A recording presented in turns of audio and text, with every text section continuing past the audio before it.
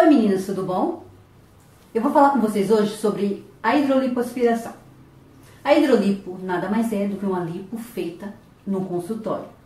O médico vai estar lipando uma parte menor de gordura e ele faz esse procedimento num consultório sem a presença de um anestesista.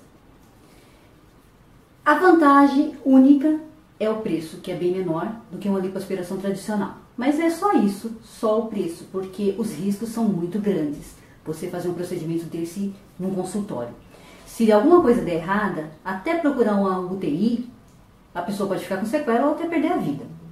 Então, se você tem que fazer uma lipo, opte por fazer num hospital a lipoaspiração tradicional, que vai estar acompanhado de um anestesista, tudo certinho ali, como tem que ser. É imposto pela Sociedade Brasileira de Cirurgia Plástica e pelo Conselho Federal de Medicina que cirurgias sejam feitas em hospital.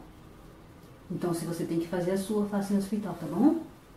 Beijos, se inscreva no meu canal e se você gostou do vídeo, clique aí em gostei.